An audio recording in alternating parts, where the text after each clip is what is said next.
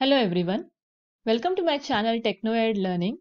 Today in this video, I'll be sharing with you how to use Google Meet, which is an application of Google, which can be used for video conferencing, online meeting, webinars, online lectures, etc.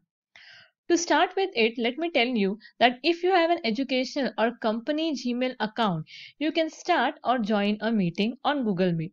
But if you have a normal email ID, be it Gmail or any other, you can just join a meeting and cannot start a meeting. So to start with a meeting on Google Meet, let us go to the Google Gmail account. Okay, so I'll start with my educational account.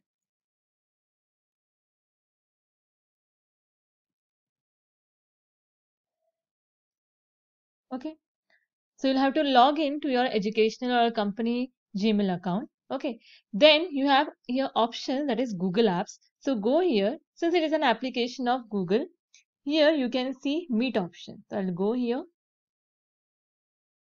So when you go here, you will see first of all join or start a meeting option. Like I told you, it is my educational account. So that is why I have both the options of joining and starting a meeting.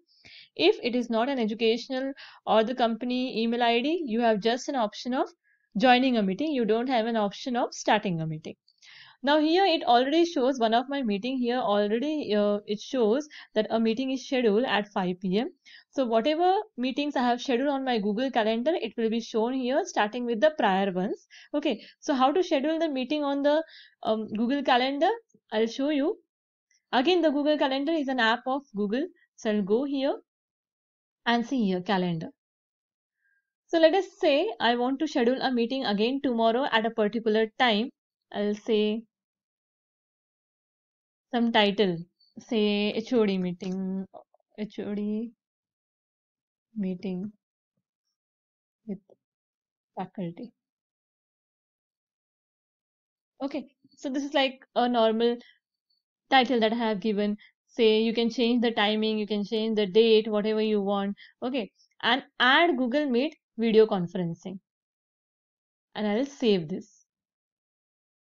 Okay, so when I save this, I will again go to this Google Meet. You can see here 5:30 a.m. HOD meeting with faculty. So the recent ones are shown at the top and and this schedule is only for a particular day. That is for today. Okay. Also, you can even use this meet.google.com to start with Google Meet if you don't want to start with directly from this apps. Okay. So if you're not going to start with the apps here, you can also use this meet.google.com to start with Google Meet. Okay. Now I will start a meeting. So click here. Give a meeting name. I'll say department meeting. And continue. So now I have started a meeting. I'll, I'll have to personally now have to join the meeting. You can see here that video is on. I'll off the video. Okay. Same way you can off your microphone or turn off and turn on your microphone also. Okay. So here you can see the name that is department meeting. No one else is here because I have not added the participants yet. I'll have to join into that meeting first and then I'll, I will have to add the participants into the meeting. Here you have an option join and use a phone for audio. Now this option is not useful for people like us who are staying in India. This is for people who are staying in other countries. You can see here the option here is only US and Canada. Again here also you have options of different countries but India is not here. Now what is the this option? I'll just explain you in brief. It is like if you want to have the conversation through your phone say you have no you don't have a proper network connection to communicate through your microphone or if your microphone is not working if your speaker is not working. So what you can do is you can view the video on your laptop but you can have the conversation through your uh, mobile phone. So it is for that but this option is not available for people like us who are in india. I'll say now join now. Okay. So i have joined into the meeting. See department meeting and then you have the sharing info.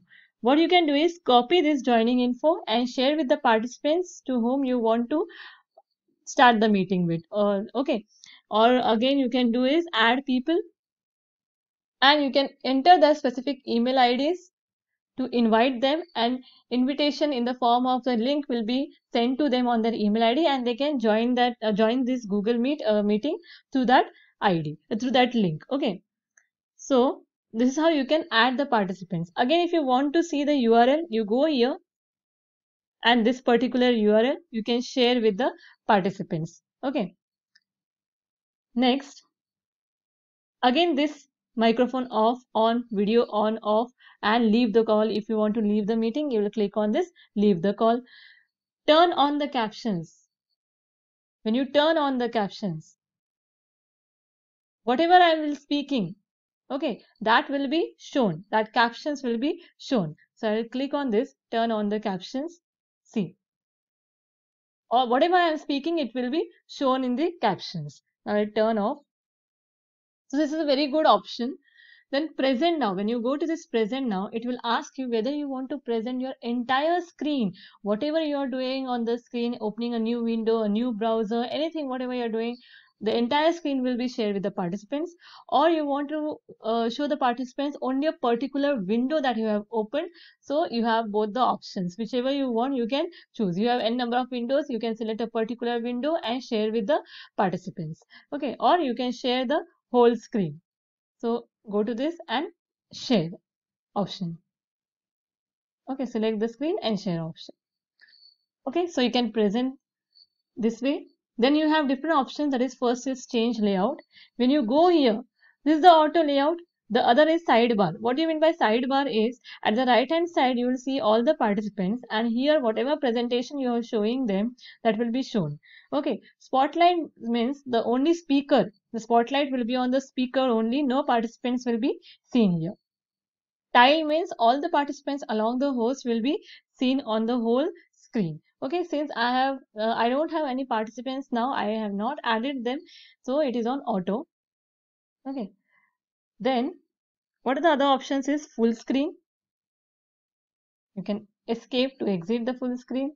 Then you have other options, turn on captions, I have already told you.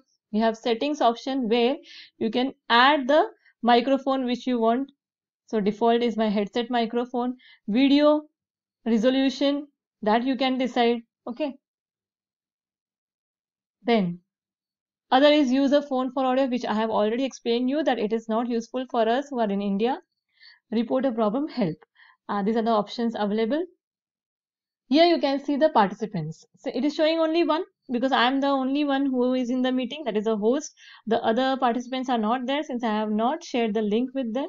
Okay, here also again you can add the people with their Gmail accounts. Okay, this call option again it is not useful for us. So you will see your participants here. How much of your participants are there? You can view it on this right hand side. You can even have chat with the participants. So for example, eh, I'll write hello all and no. So you can even have chat with the participants. Any doubts they have, uh, or everything, all the conversations can be done here. Okay. So this is how you can use Google Meet, which can be used for video conferencing, for webinars, for online meetings, for conducting Vivas nowadays, for taking online lectures. Okay. Now the only thing is, even if the host leaves the meeting, for example, this leave call. Okay.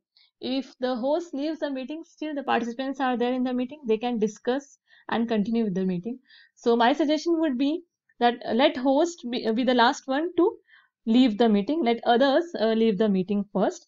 Also there is no option here where, can, where you can uh, unmute others. Okay. Where you can unmute others. There is no option here. Okay. So what you'll have to do is you'll have to tell the participants to unmute unmute themselves uh, to avoid the chaos. Now here where you have pin option i have clicked in the cent at the center of the pic and here you can see a pin option.